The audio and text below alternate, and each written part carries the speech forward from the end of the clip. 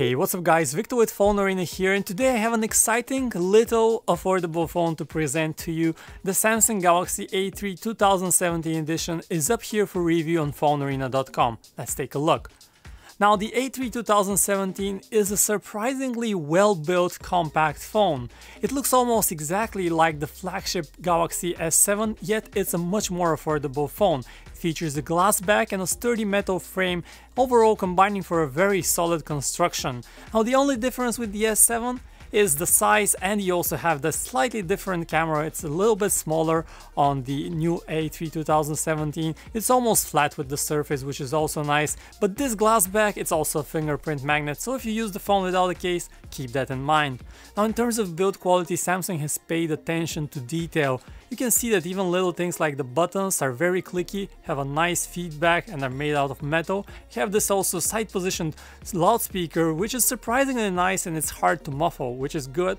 You also have a USB-C port for charging, which is a nice change from uh, micro USB, and you also have a 3.5mm headset jack, which is missing on some devices, you know which ones.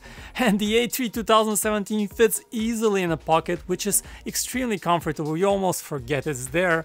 Now, in terms of uh, display and other specifications, let's get started and see what it's all about. Have a 4.7 inch Super AMOLED display on the new A3, and this is part of what makes it compact. The screen has almost no bezel and it you would say now it's a 720p HD display is this really enough in the beginning of 2017 we have quad HD phones and even 4K phones well the answer is for most people yes you would not really notice but if you look closely you can see that there is slight pixelization but most importantly, the A3 2017 has very good looking colors. It's well balanced. You can also manually custom customize the colors and we use the basic mode which looks more balanced to our eyes while the adaptive display looks uh, more punchier, more vivid, but not that realistic. Now the A3 2017 also comes with a premium feature in the form of always on display always on display is something that was available on the S7 and it's a neat feature to have but it also drains a lot of battery. The good news about the new A3 2017 however is that it has very good battery life, more on that later, and it has the new Grace user interface by Samsung. Now we've been waiting a long time to say that Samsung's TouchWiz looks and feels great and that time has come. Samsung's new Grace user interface feels great. It is very functional, very clean, very, very tidy and very uniform in terms of looks. Even the settings menu is well organized, you can easily make your way around, there's search almost everywhere. It's a very convenient interface but unfortunately the new A3 2017 runs on Android 6.0 Marshmallow and this is quite a letdown. Now this does not really affect the daily performance of the device much, but keep in mind that it's an affordable phone, so this means that it will not get updated on day one, it likely will take months to get updated to newer versions and it's already shipping with an year old version of Android. This is definitely a drawback and we hope Samsung addresses this in future devices. And the phone also has a couple nice, nice tricks up its sleeve, like this device maintenance uh, tool right here that allows you to just optimize your device better. And if you have that one or two apps that might be draining your battery, you can just go here and uh, uh, see which ones are they and um, just get that better, better performance out of your uh, handset. Fortunately, the A3 2017 only ships with 16GB of storage, which is barely enough, but you have a micro SD card slot and we, we're glad it's there. We recommend everyone get at least 32 gigabytes on top of that storage. This will allow you to save your uh, files, your images and videos and will just make your phone faster because the number one reason why your phone slows down is usually it runs out of memory very quickly. And we also quickly showed you the keyboard. This is one of the excellent aspects of the new A3.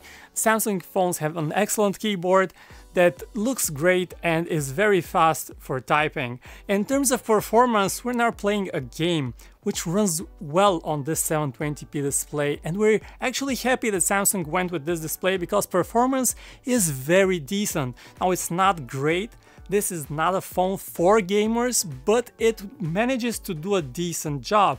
And in daily performance, there is a very slight slowdown. It's not lag, but the moment you press an app icon, it just takes an extra moment to start the application and this is a little bit noticeable but it's not a huge drawback and unless you're really obsessed over performance you probably would not mind it and in terms of gaming performance and the chip here we have an octa-core chip with 8 A53 cores running at 1.6 gigahertz. Now switching over from those technicalities to the camera. Because you can see the camera barely sticks out of the back and uh, it's a surprisingly good camera. Now it supports the neat dual click shortcut to quickly launch the camera and you have the new camera up here on this uh, new A3 which is a very clean and free of clutter experience that looks and feels great.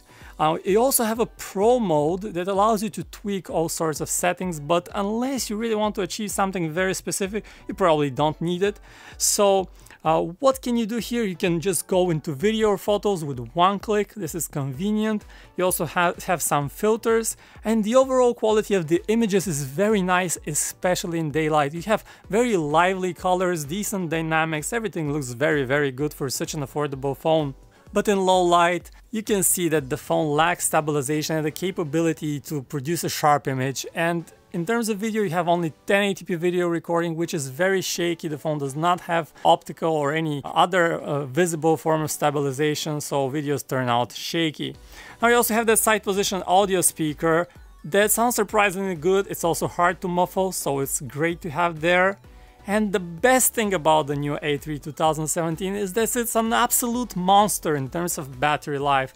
Now in real life testing we get around 2 days, which is more than most phones and even on flagships we get around 1 day and here we get 2 and sometimes even 3 days with more moderate use.